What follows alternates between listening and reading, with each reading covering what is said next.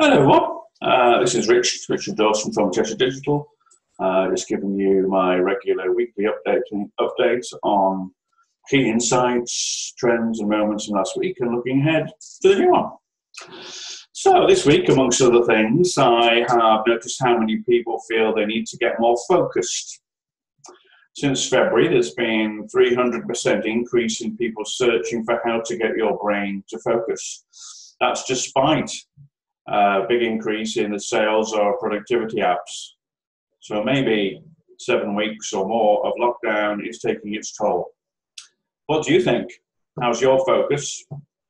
Uh, why don't you let me know in the comments below? I also see a lot of discussion uh, about, about the algorithm, the algorithm that social media platforms like Facebook and LinkedIn and others use to decide what content your audience sees the most of.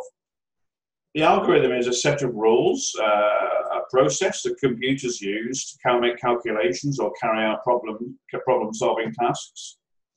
It's a bit like a recipe. Now, some marketing people talk about gaming the algorithm or beating it using special techniques um, to help your content reach, get the maximum amount of reach on social media or, or on your website.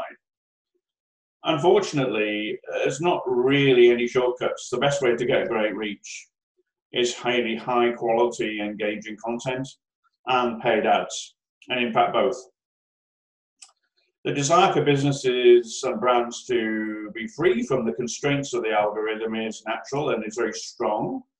And that's just one of the reasons why uh, new marketing platforms like community.com, which uses text messaging, and existing techniques like email marketing are growing in popularity.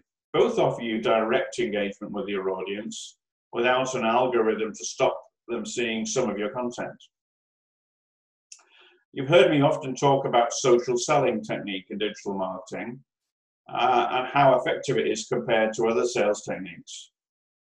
This week I saw a couple of people uh, reference a well-known book called How to Win Friends and Influence People uh, this was written by uh, Dale Carnegie, uh, published in 1932, uh, and very popular today. And he wrote in that book, you can make more friends in two months by becoming interested in other people than you can in two years by trying to get other people interested in you. I think that's very apt, holds true today. So, looking ahead, looking forward to another busy week meetings with clients and contacts, of course.